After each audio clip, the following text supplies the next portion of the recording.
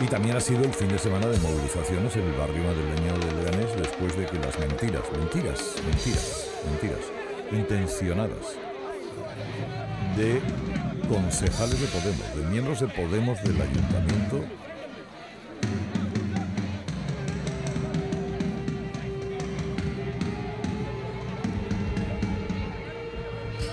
Alfonso Usía, Celia Villalobos, Pilar Cernuda, Carlos Herrera. Por cierto, uno de los más beneficiados personalmente de la X que la gente marca en la casilla de la iglesia en la declaración de la renta. Dicen que la gente que no es de su cuerda somos gente sucia. Estos buenos cristianos con esos comentarios dan ideas a los que echan gasolina a un colchón de un pobre porque el fuego va a limpiar su mugre. Estos sacos de odio, chuletones, coñac y vino odian a los pobres. ¿Sabéis por qué? Porque adoran a los ricos. Hay gente que cree que quemar a un pobre en un cajero es un acto de higiene, pero quebrar las cajas de ahorro, una tarea de emprendedores con olfato empresarial. Son esa gente a la que siempre otros les lavan la mierda. Estos personajes son haters, buscan audiencia odiando. Carlos Herrera, desde una emisora católica, es un maestro odiador, como ayer lo era Jiménez Los Santos. Si vieran al Papa Francisco, que habla de regresar a los pobres y llevasen una escopeta recortada, ¿qué harían estos hombres? La única gente pobre que tienen cerca son contratados y, por supuesto, les insultan. Son los que conducen y lavan sus coches, que ensucian tanto nuestras ciudades, y son los que atienden sus casas, que producen tantas bolsas de basura. Esta gente te mira por la calle y si no llevas 500 euros en ropa y complementos, aceleran el paso y dicen para sí, hay que ver cómo están en seguridad. Les parecen un horror las huelgas y si les afecta personalmente en un atasco, en un paro en el AVE o en el avión, dicen que España se hunde pero nunca protestan cuando los empresarios se llevan la fábrica a otro país donde no existen sindicatos para aumentar así los beneficios. Cuando se muere un negro que vende mercancías ilegales, que le venden chinos mafiosos, se olvidan de mencionarlo en su relato, ocupados en hacer todo un discurso sobre las bondades de la policía. Ah, pero cuidado, cuando la policía hace informes que demuestran que los del PP han robado o están en tramas de corrupción, dicen que la policía es que está infiltrada por los de Podemos hacen mercadillos pijos para gente pija que recauda dinero pijo para los negritos. Aunque nunca será tanto lo que recaudan como las comilonas que se pegan con motivo de la ocasión y ese enorme sacrificio que han hecho porque es domingo. No son racistas, porque se llevan genial con los árabes, los marroquíes, los africanos, siempre y cuando sean muy ricos, porque se lo han robado, claro, a sus pueblos. Pero si en la calle ven un niño pobre de piel blanca, se indignan y creen que está drogado, secuestrado. Pero cuando son negros o mestizos, les pellizca la mejilla y les dan unos céntimos, creyéndose que es una señal de que son muy buena gente y Dios, Dios le guía los pasos. Siempre coinciden en llamar a los que no piensan como ellos sucios. Porque los que se sienten de una clase superior piensan que los pobres nunca están limpios porque necesitan pensar que no terminan de ser seres humanos respetables. Las madres de Usía o de Carlos Herrera, si vinieran de sectores populares, seguro que siempre se preocuparon de que sus hijos llevaran las rodillas limpias, aunque luego hayan desarrollado un corazón sucio y una mente hedionda. Seguro que ellas no son responsables de que sus hijos tengan tanta roña en la cabeza como para añadir a los humildes la condición de sucios y así justificar su odio y, llegado el caso, su marginación. Nuestras madres, porque sabían que no teníamos gran cosa, siempre nos enseñaron a estar limpios. Las rodillas limpias eran una religión. Carlos Herrera, Usía, en el fondo, no nos insultan a nosotros, insultan a las madres que nos enseñaron. Y ahí estáis pasando fronteras que no debierais. Yo, que no soy creyente, sé que bienaventurados los que tienen las rodillas limpias, porque suyo es el reino de los cielos. Y también sé que hay descerebrados, llenos de odio y ponzoña en el alma, que creen que los pastores de Belén eran brokers y que el portal de Belén lo diseñó un tal Calatrava. Bienvenidos, desobedientes.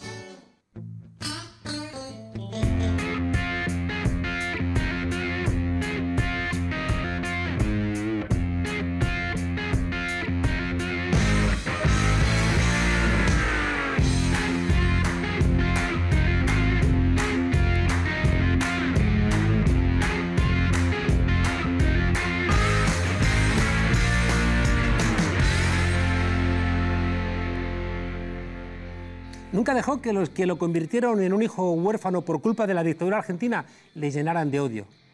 No olvidó, pero dejó de lado conjugar o no la idea de perdón. Pero al tiempo se aseguró de que las víctimas no se comportaran con los asesinos como ellos lo habían hecho con los desaparecidos. Como actor, siempre tiene una mirada interior que te dice que además de lo que ves, están pasando más cosas.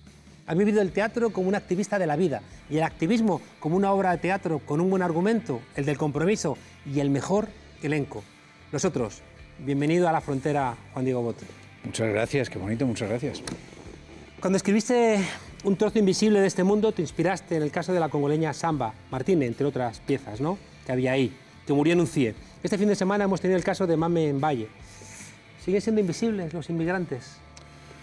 Sigue siendo notablemente invisibles, tanto así que este, este hombre que murió llevaba 13 años en España eh, y no tenía ningún vínculo legal, no tenía papeles, no tenía, al no tener papeles no tenía ningún derecho legal que le permitiera instalarse y poder progresar, ¿no? como un ciudadano más que era de nuestra ciudad. Eh, y solo los vemos, solo los notamos cuando la policía corre tras ellos, cuando los vemos correr con sus mantas o cuando ocurren tragedias como la que ocurrió el otro día. Parece que nos gusta la épica ¿no? que acompaña ¿no? al inmigrante, que sufre toda una odisea cuando sale de su país, que los malos le acosan, pero después cuando están aquí pensamos que, que viven del aire. Bueno, y no solo eso, ¿no? porque yo creo que eso era casi antes. Ahora creo que ya no nos gusta ni la épica, porque mmm, hacemos tanto por impedirles llegar, uh -huh. son tantos los obstáculos que les ponemos para que puedan llegar. Eh, estos días estamos viendo las noticias de el barco este, este barco ONG Open Arms, uh -huh. que rescata a gente en el mar y que ahora mismo está retenido en Italia siendo acusado de traficar con inmigrantes o permitir... El mundo al revés. ¿no? Es el mundo al revés, gente que está salvando a personas de, de una situación catastrófica eh, son convertidos en, en, victimarios cuando es gente que está tratando de rescatar a las víctimas. ¿no? ¿Qué quisiste contar en ese trozo invisible del mundo? Eh, el trozo invisible de este mundo era, era una obra de teatro que hablaba sobre el exilio y sobre la inmigración. Uh -huh. Sobre el exilio eh, quería hablar de la justicia, de la justicia cuando hablamos de aquellos de, sobre todo la generación de mis padres, que tuvieron que, mm, que exiliarse, que vivir en un, una cultura, en un ambiente que no era el de ellos y nunca abandonar las demandas de justicia. ¿no? Eh, que es algo que resuena en el, en el caso argentino sin lugar a dudas, que además ha sido exitoso, pero también es algo que resuena en España de una forma no tan exitosa, ¿no? la búsqueda de justicia para con los desaparecidos y las víctimas de una dictadura. Y quería hablar de inmigración y ahí eh, alguien me presentó el caso de Samba Martín, porque creo que exiliados e inmigrantes compartimos, tenemos mucho en común, ¿no? prácticamente todo, casi todo. Eh, y el caso de Samba, bueno, era un caso muy significativo, ¿no? De una mujer que, bueno, pues como, como, como nuestro compañero del otro día, que, bueno, en un momento dado soñó con un mundo mejor, ese mundo mejor era la tierra prometida de Europa, y lo que recibió en Europa fue maltrato. Se lo jugaron todo, ¿no?, para llegar aquí. Sí, y es, es el mundo que hemos, que hemos construido, ¿no?, donde um, parece que el norte... Um, Parece que está bien que nosotros vayamos allí a extraer beneficios eh, en forma de materias primas, en forma de fábricas con trabajadores baratos, pero no está bien que ellos vengan aquí a, a buscarse un futuro. Eso, eso es molesto. Hay algo que, que me preocupa. Noto que el PP y Ciudadanos están intentando construir estos últimos días eh, un acontecimiento con la inmigración que les acerca a lo que están haciendo la extrema derecha en Europa, ¿no? Alianza por Alemania, Cinco Estele, la Liga Norte, que es crear ¿no? el miedo a los inmigrantes. ¿no? Y una cosa que duró dos minutos, ¿no? donde sobre todo un, una persona, la pies una, ¿eh? llena de rabia, pues tiró unas sillas y demás a la policía porque estaba enfadado porque su cónsul no les hacía caso. ¿no? Y con eso quieren construir como Lavapiés Arde, ¿no? que es un, un, barrio que se caracteriza por la convivencia. ¿no? Sí, yo creo que el relato a destacar aquí es... Esto no es, eh, lo voy a pronunciar mal, esto no son los Boldier de, franceses, esto no son las barriadas... La periferia. La, peri ¿no? la periferia francesa eh, de, de, París. Eh, Lavapiés, lo que ha pasado estos días, yo creo que lo más significativo y lo que creo que cualquier persona responsable debiera destacar es la solidaridad entre vecinos eh, de, de, toda índole y de cualquier raza. O sea, mm. La gente española, blanca, de, que llevan generaciones viviendo en Lavapiés, en Lavapiés, tienen una convivencia pacífica y se han solidarizado con los senegaleses que están vendiendo, malviviendo en el barrio de Lavapiés. Y eso es el barrio de Lavapiés. Claro. Lavapiés es un ejemplo de convivencia. Y eso es algo que cualquier comunicador responsable debería destacar porque es un logro de, de la sociedad española que a pesar de los esfuerzos de mucha gente, mm, como sociedad, como pueblo, como gente, somos mucho más tolerantes de lo que nos quieren hacer creer. Yo recuerdo cuando, cuando los atentados de, de Atocha, cuando el PP, este PP que ahora levanta la voz, nos quiso mentir, decir que había sido ETA, ¿no? Para ocultar que había sido Al-Qaeda, no, no fuera a ser que la gente le, le, pidiera cuentas por nuestra participación en la guerra de Irak. Recuerdo que aquella noche en Lavapiés, donde, donde procedían los, los, los asesinos, ¿no? Que pusieron aquellas bombas, nos manifestamos pacíficamente y no hubo ni un solo incidente.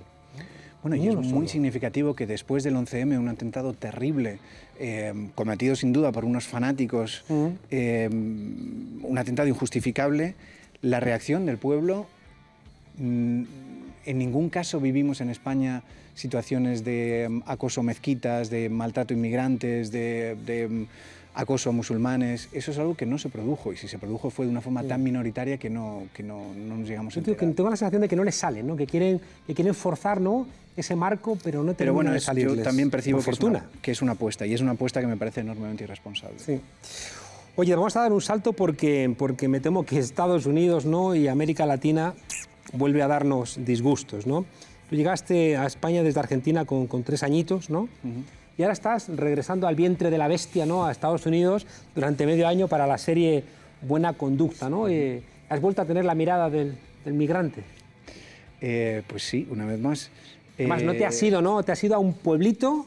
Sí, además no, no he ido a, um, al corazón de la industria, uh -huh. no he ido a Los Ángeles, no he ido a Hollywood, sino que la serie la estamos rodando en un pueblo de Carolina del Norte. En que Wilmington. Es Wilmington, North Carolina que es el mero mero sur, como diría un mexicano, ¿no? Estoy en el mero mero.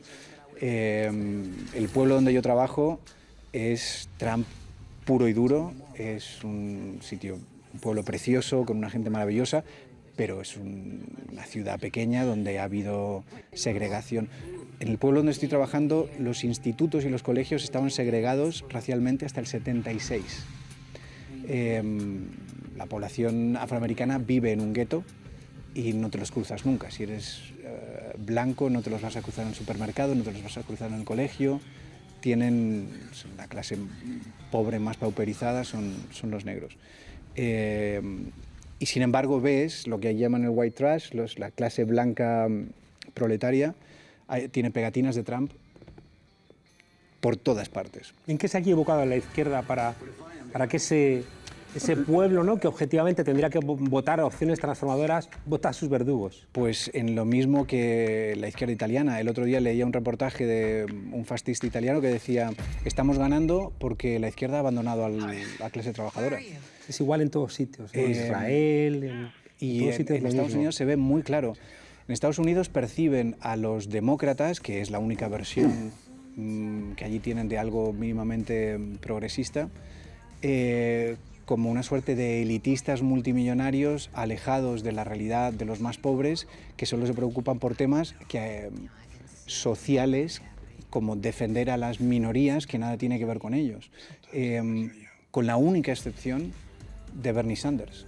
Eh, claro. Bernie Sanders fue un tipo que supo conectar con la clase trabajadora transversal en la cuestión de, de raza y supo conectar mucho con el, el que ha sido o dicen que ha sido el votante más importante de Trump, ¿no? que es la clase blanca trabajadora.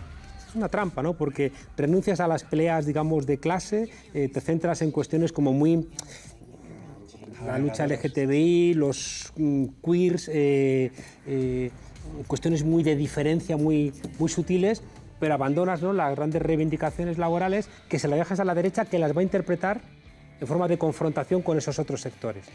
Y al final es una trampa donde no hay por dónde salir. Yo creo que hay que dar respuesta, hay que dar una respuesta um, y una respuesta honesta eh, a un montón de gente que te está demandando una solución. Yo creo que ahora mismo hay, o sea, un problema importante es que hay que ofrecer certezas y respuestas claras a un montón de gente que te las está demandando. Eh, y quien sea capaz de articular eso claro. y de no abandonar eh, a toda esa gente, creo que, que, será capaz de articular algo muy importante. Ah, porque si nada más pones a pelear peleas contra peleas. O sea, yo no digo que la pelea LGTBI sea menos relevante, que también lo es, ¿no? Y no, es no, terrible. Es, es, Pero las pones a, a, pelear al final pobres contra pobres, ¿no? Por no, en, por no ser capaces de traducir ¿no? esas peleas. Sí, y... Eh, el teatro debiera ayudar, ¿no? A traducir ¿no? todas esas peleas. Bueno, es... es eh yo creo que es parte de una labor importante del teatro. Ahora, estos días estoy trabajando en una pieza que estoy escribiendo de teatro sobre Federico García Lorca. Y realmente él, el trabajo que en, sus últimos años, a partir, de, a partir de la República, en realidad, a partir de la Barraca, su obsesión tiene que ver con, con llevar la cultura allí donde la cultura no ha llegado. Con, En realidad es muy el espíritu de lo que fue la República, ¿no? Es una transformación a través de la, de la cultura, las misiones pedagógicas, los colegios, los maestros. Y Lorca, sus últimos años fueron mucho ese trabajo, ¿no? Pensar que, que si la gente tiene bibliotecas, que si la gente puede acceder a ver obras de teatro, que si pueden... Es muy bonito las anécdotas que cuenta representando Fuente Ovejuna de Lope de Vega en distintos pueblos. Como, Castellanos. Mm, como ahí hubo plazas donde el cacique del pueblo paró la representación porque los, los uh, campesinos se levantaban y se sublimaban con, con, con los actores. ¿no? La lectura de Lorca decía esto lo ha hecho el pueblo, hay que devolvérselo al pueblo. Y eso decía Lorca, el, el, hay que educar al pueblo con la herramienta que es del pueblo, que es el teatro, que se le ha hurtado. Claro. Oye, decía una famosa actriz que ella podría hacer el papel de una fascista en una película antifascista, pero que nunca haría el papel de una comunista en una película fascista. ¿no? Eh, a ti te han tocado papeles de, de malo y en esa sociedad yo creo que por lo menos una parte enferma que es la estadounidense, buscan un chico guapo y con mirada tierna como tú para interpretar a un asesino en serie. ¿Qué haces interpretando esos papeles o también como interpretando a, a, un fascista de la División Azul en, en Silencio y la Nieve? Sí, yo, estoy de acuerdo con el comentario ese que hacías, ¿no? no es lo mismo y de hecho en más de una ocasión, no soy el único, ¿eh? pero he rechazado personajes porque dices la premisa de esto que está contando esta historia no me parece que no es, no es pertinente, ¿no? No, es, no es bueno. Y uno tiene que ser consciente de que el arte, eh, de que todo arte es político y todo mensaje artístico es político. ¿no? Y estás educando de alguna manera o transmitiendo un mensaje que, bueno, del que por lo menos tienes que hacerte cargo y ser consciente de que eso lo estás enviando ahí. En cuanto al personaje del asesino de buena conducta, es un personaje estupendo. La serie parte de la premisa de la protagonista es una mujer recién salida de la cárcel, ladrona, alcohólica, drogadicta, eh, que se enamora de un asesino en serie. Y la serie te plantea, estos dos son tus protagonistas y los vas a querer.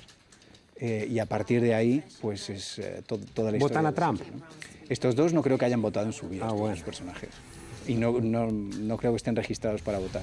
Te iba a preguntar si votarían al PP o a Ciudadanos, pero no quiero que me lo contestes. Vamos a dejarlo para otro momento. Eh, murió Jorge Videla, militar, dictador argentino, responsable de la desaparición y muerte de tu padre. Y pusiste en un tuit, tendrás una tumba y un funeral, y alguien incluso te pondrá flores. ¿Viste como nosotros no somos unos hijos de puta? Yo creo que está todo ahí dicho. Ahí ahora, Juan, hay una discusión, ¿no? Donde tenemos por un lado a los padres de algunas víctimas, ¿no? Intentando en el entorno del Partido Popular, ¿no? Eh, hacer, ¿no? De, de, lo que ellos llaman justicia y a otros nos parece que es una venganza que les va a hacer más daño que bien. Eh, plantear ¿no? la, la vigencia de la, de la, cadena perpetua y luego está la madre de Gabriel ¿no? planteando no liguéis el nombre de mi hijo al odio y a la venganza, eh, no somos como ellos. Bueno, yo puedo hablar por mí. Eh, yo creo que mmm, hay, eh, hay delitos tan graves que no hay pena que los, que los aplaque. Hay eh, lo, que, lo que una víctima siente eh, no hay pena que lo pague.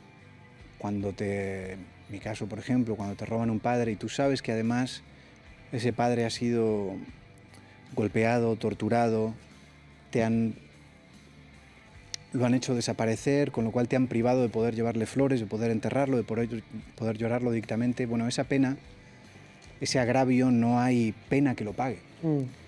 No hay condena, ¿no? Que lo, que no, hay, no hay condena que lo pague, ni, ni forma mm. de, de de aplacar el dolor.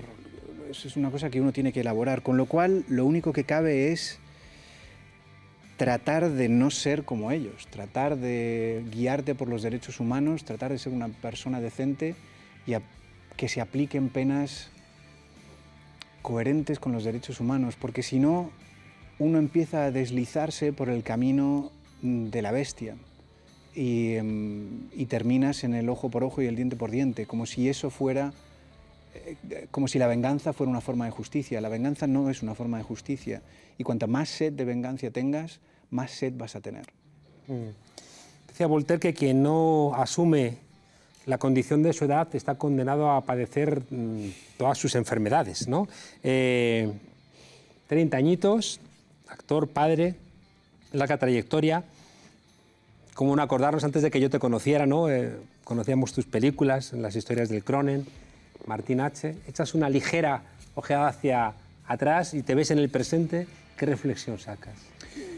Bueno, yo ahora tengo 40 añitos, 41 añitos, 42. Eh, miro hacia atrás. que te quería quitar años y vas sí, tú. No, yo te lo agradezco, pero me los he ganado todos y cada uno de ellos. Eh, y estoy orgulloso de todos y cada uno de ellos. Miro para atrás y, y como diría aquel, confieso que he vivido. Y, em, estoy contento de haber vivido intensamente todos y cada uno de los años que, que tengo. Y, em, y creo de haber tenido la suerte de hacer lo que correspondía en cada momento. Eh, he hecho muchas locuras cuando tocaba, he castigado mi cuerpo todo lo posible cuando tocaba. En alguna igual hemos coincidido. En alguna igual hemos coincidido. Eh, he amado hasta, hasta la extenuación, que es el momento cuando quieres tener un hijo, y sigo amando profundamente. Eh, he podido desarrollar mi profesión, que amo. Creo que he sido un tipo afortunado. ¿no? Y ahora ir también aceptando que, mm, que, el cuerpo empieza a responder menos, que la cara tiene, tiene marquitas, tiene arrugas y eso también hay que quererse ahí. ¿Y estás escribiendo? Y estoy escribiendo. O sea que también es una señal de otro momento. Sí, sí. Encuentro... Bueno, tú, tú escribes mucho y sabes que, mm, que es un placer extraño el de escribir Mm. porque mm, es una cosa muy bonita cuando tienes una idea y la vas pariendo con fluidez, pero es una cosa muy tortuosa cuando te trabas y te sientas ahí y dices, ¿por qué me siento yo aquí solo a invertir horas en esta cosa dolorosa? Em, y esa relación contradictoria es la que yo tengo con la escritura. Antes de ayer, hace cinco días, estaba feliz con las 20 páginas que llevaba. Em, tengo que llegar a 30, 35, más o menos una hora y media de teatro. Em, y ayer dije, esto es una mierda, y caí en la depresión esa de, esto es una mierda, no sirve para nada. Voy a dejarlo descansar cuatro o cinco días, a ver si dentro de una semana digo... No en esa depresión no hay obra de teatro, no hay guion de película, no hay tesis doctoral. Sí, depresión es una de las fases. Así es. Juan, me has recordado a esa frase de Isidoro de Sevilla, vive como si fueras a morir mañana y trabaja como si fueras a vivir eternamente. Qué placer. tenerte aquí, tenerte como amigo en la frontera. Enhorabuena por el programa. Muchas gracias, a ti. Juan. Y Lolo, eh, desenfunda. Algunos de nuestros famosos actores no pagan impuestos en España, señoría. Eso es lo que está pasando. ¡Corten! ¡O me corto yo los huevos! ¡Pero quiero ser los soplapollas que ha encontrado este hombre! ¡Samantes! Es de los que se presentaron a la convocatoria. ¡Qué puta es la guerra, eh!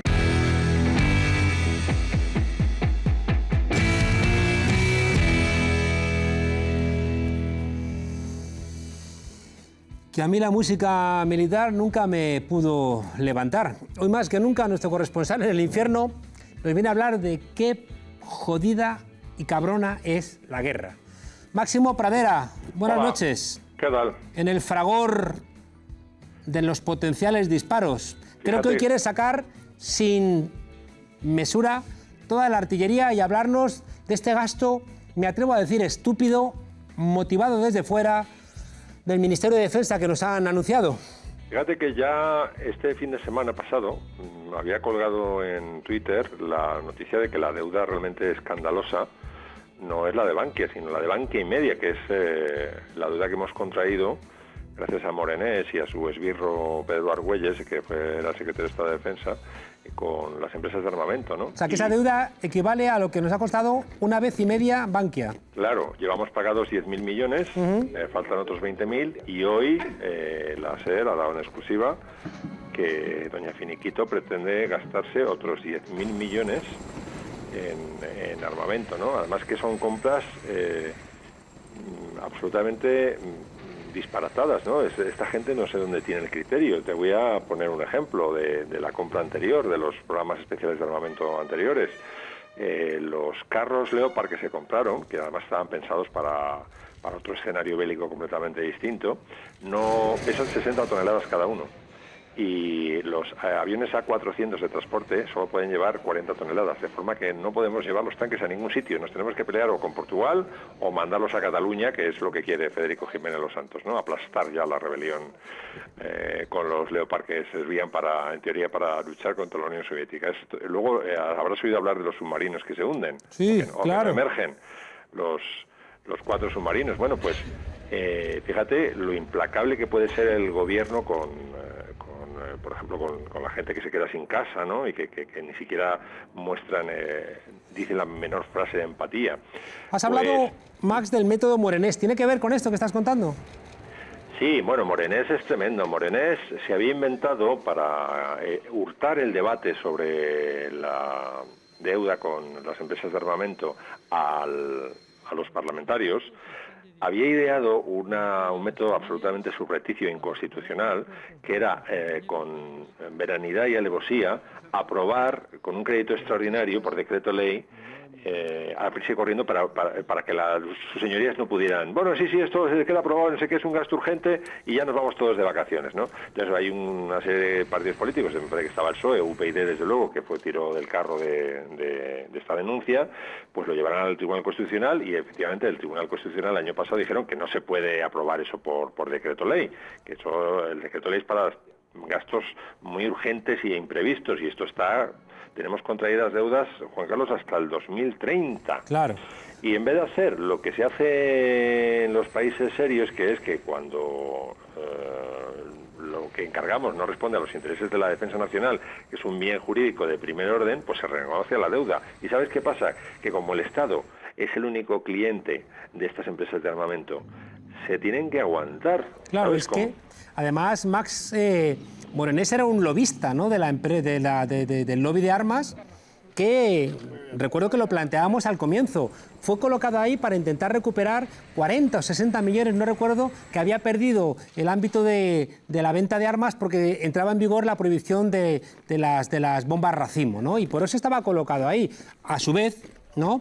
Eh, recuerda a Eduardo Serra, ¿no? Que era un hombre que fue ministro de Defensa con el PP y con, el, con UCD, si mal no recuerdo, y luego con el PSOE, ¿no? Es decir, que hay una vinculación también con la Casa Real, que en ese sentido es el jefe ¿no? del ejército, las empresas armamentísticas y una, un momento oscuro ¿no? de todo lo que tiene que ver con la defensa nacional, donde parece que no podemos saber realmente cuánto nos cuesta. Bueno, es que eh, Morenés es realmente una, como decía Irene Lozano de ex UPyD, una puerta giratoria él en sí mismo, ¿no? O sea, parece que, las, que él, es, él ha sido el inventor. Y además hay una cosa que deben saber nuestros telespectadores, querido Juan Carlos, que es que tal como se ha renegociado la deuda anterior, no los 10.000 millones estos que vienen ahora, ¿no? sino los, los de los programas especiales de armamento, eh, se ha renegociado de forma que la joroba, o sea, se, se, se, llama eh, deuda por enjorobamiento, no solamente porque nos joroba a todos los contribuyentes, sino porque lo gordo, o sea, la chepa, está, eh, me parece que en 2020 o en 2025, porque tenemos hasta 2030, ¿no? De forma que, como es previsible que pierdan el poder estos hijos de puta, eh, lo que va a pasar es que el gobierno que venga se va a encontrar con la con la con todo lo alto de la chepa, ¿sabes? Con, con todo con, lo gordo de la deuda. Hmm. Y ahora ellos pueden eh, presumir de que bueno de que, de que estamos muy bien, de que ya el déficit no es tanto y es una cosa increíble. y, encima sobre esto, perdona ya como está que todavía me sangran los oídos la pretensión de quedar bien, ¿sabes? El otro día en el debate sobre las pensiones Rajoy dice es que no tenemos dinero, dice es que no se puede no se puede engañar a la gente, o sea yo prefiero que digas, mira, soy una rata, o soy como el, ¿te acuerdas de Mary Poppins, el, banquero que, le arrancaba los dos peniques a Michael Banks? Decía, trae para acá, mocoso, que estos dos peniques son para mí. Prefiero un personaje así que alguien que vaya encima de, bondadoso y de que no engañe, que, o sea, M. Rajoy diciendo que él no engaña, pero vamos, es que ya es doble, es, es tomadura de pelo con doble tirabuzón. No creas que me queda claro por qué el PP prefiere al final gastarse la pasta en armamento que en pensiones, ¿no? Porque también es, y nunca mejor dicho, pegarse un tiro en el pie.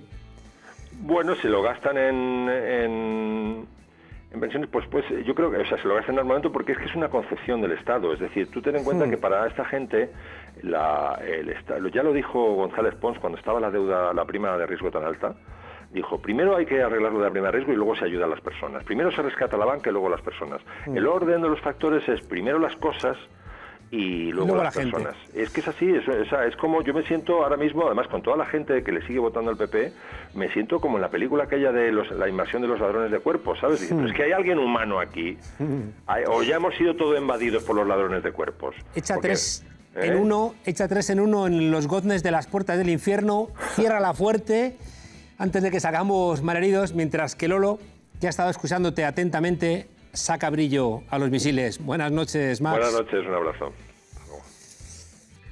Saca brillo tú, Lolo. Venga, venga.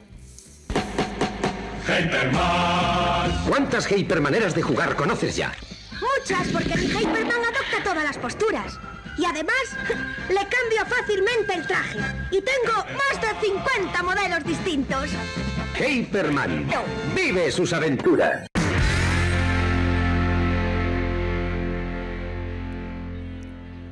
Primero fue el de Berlín, luego el de Gaza, luego Ceuta y Melilla, ahora el de Trump. Y por fin llega Rajoy y decide que él no quiere ser menos que estos grandes personajes y que también quiere construir su propio muro de la vergüenza. Un muro de 9 kilómetros de largo por 5 de alto que partirá Murcia en dos, dejando incomunicadas a más de 200.000 personas. ¿Una cuestión étnica? ¿Problemas de la Guerra Fría? ¿Amenaza de una invasión? No, se trata solamente de que el AVE llegue antes a Murcia de que tengan lugar las próximas elecciones. Y los murcianos y murcianas haciendo preguntas muy impertinentes. ¿Y a qué demonios beneficia un tren que tiene que partir en dos una ciudad? ¿Dónde está ese soterramiento integral? No solamente prometido, sino aprobado y publicado en el Boletín Oficial de la Región de Murcia, ni más ni menos que en 2006. Quizá en ese baúl de los recuerdos repleto de tantas y tantas mentiras del gobierno de Rajoy y del Partido Popular. Lo que nosotros hemos hecho, cosa que no hizo usted, es en- engañar a la gente. Así que engañar a la gente, ¿eh, Mariano? Y tanto. Tras años de retrasos, los ciudadanos organizados en torno a la plataforma pro soterramiento exigen que, aprovechando la llegada del AVE a Murcia, se cumplan aquellos compromisos. Las vías tienen que ir por abajo para poder ellos ir por arriba. Abajo, arriba, como en Barrio Sésamo. Pero hay, amigo mío, con el PP en las elecciones hemos topado. Tanto el Ministerio de Fomento como el Gobierno de Murcia y las organizaciones empresariales prefieren que el AVE llegue cuanto antes, rapidito, a la carrera. Y otra vez tenemos que preguntarnos, ¿a quién beneficia un tren que parte en dos a una ciudad? ¡Ánimo, muchachos! ¡Que vamos a paso de tortuga! ¡Espero! ¡Necesitamos madera! ¡Traed madera! ¡Traed madera! ¡Es la guerra! Y tanto que es la guerra. Los vecinos, hartos de que les tomen el pelo, han dicho, hasta aquí hemos llegado. Su objetivo está muy claro, que el AVE no circule hasta que las vías de Murcia estén soterradas. Pues claro, porque si no, pues si no, les lían. Y que logren lo que buscan, que los barrios del sur se puedan unir con el centro de la ciudad. El gobierno de Murcia no solamente ha sacado hasta hoy buenas notas en corrupción, sino que además progresa adecuadamente en apartheid. Nunca antes se había producido una movilización tan masiva y durante tanto tiempo en la historia democrática de Murcia. Es igual que lo que pasó en Gamonal o en diferentes manifestaciones post-15M. Ahora en Murcia se respira dignidad y orgullo de barrio. A pesar de llevar cinco años acampando todos los martes, desde el pasado 5 de septiembre los murcianos han dicho, pues ahora vamos a meter una marcha más en las protestas vecinales. Manifestaciones como la del 31 de septiembre, que reunió a más de 40.000 personas, con marchas sobre Madrid, donde reunieron a 7.000 personas frente al Ministerio de Fomento. Allí se lo dijeron por escrito, con gritos, y en Murcia, con música, dejad de poner más ladrillos entre nosotros. ¡Murcia!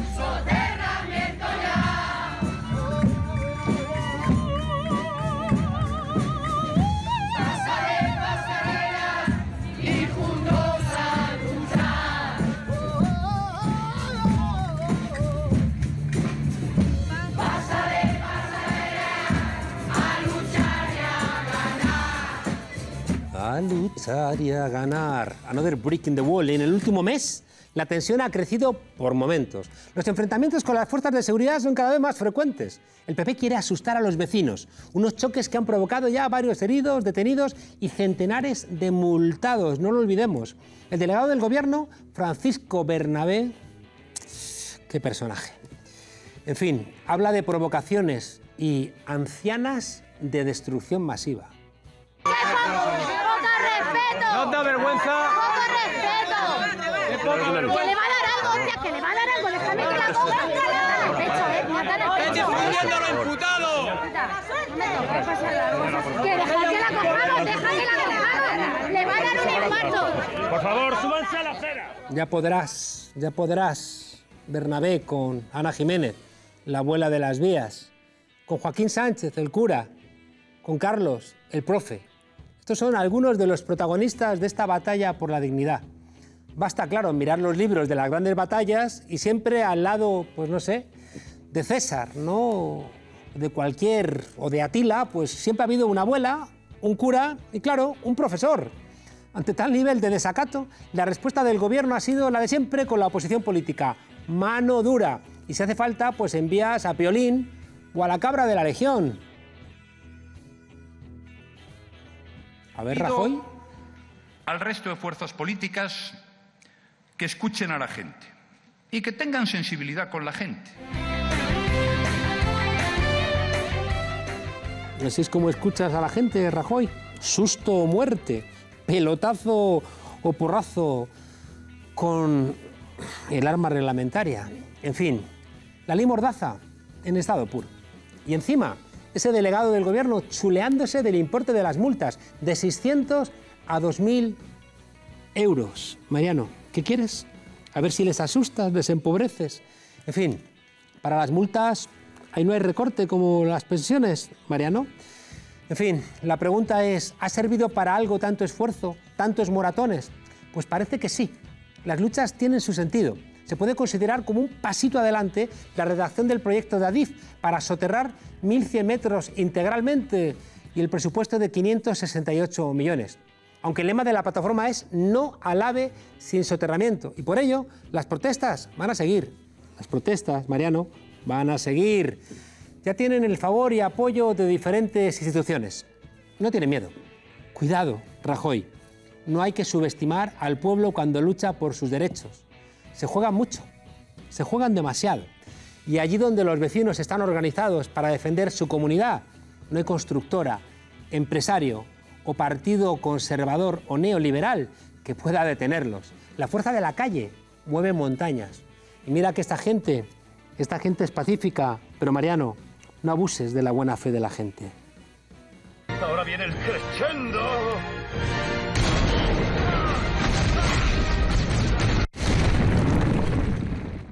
Gracias, Tribunal Constitucional, contigo empezó todo.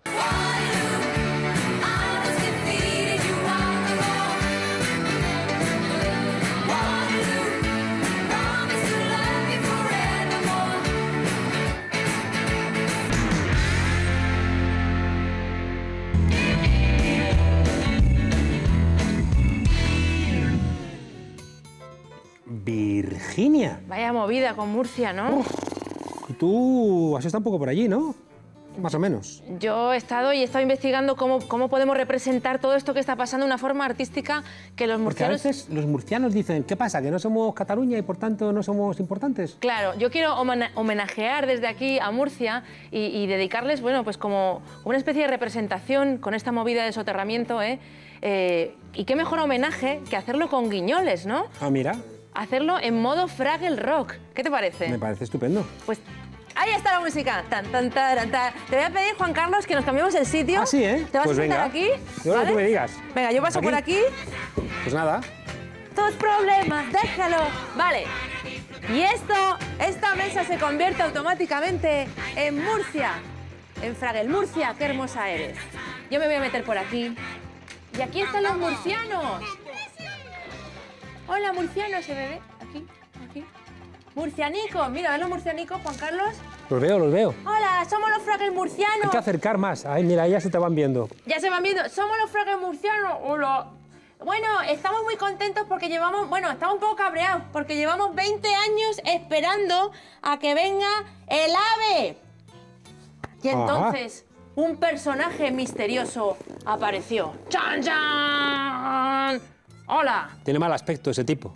soy... Pero yo tengo que gritar. ¡Oh! ¡No! ¡No! ¡Uh! ¡Ay, qué miedo! Juan Carlos. Hola, murcianos. Yo puedo prometer y prometo que os traeré, traeré el ave a Murcia. ¿Cómo, cómo? Soterrado. ¡Ah! ¡Bien, bien, bien! ¡Qué maravilla! ¡Ah! ¡Qué felicidad! Esto es confeti, ¿vale? Que no se nota. Y los murcianicos se fueron muy contentos a dormir. ¡Gracias! ¡Gracias, universo! ¡Por proveernos de confeti! Se fueron a dormir, se hizo de noche, y se fueron a dormir pensando en el vagón cafetería del ave, en los auriculares que iban a robar en el ave. Se fueron muy contentos a dormir. Y por de noche apareció ¡Chatán! El malvado personaje que construyó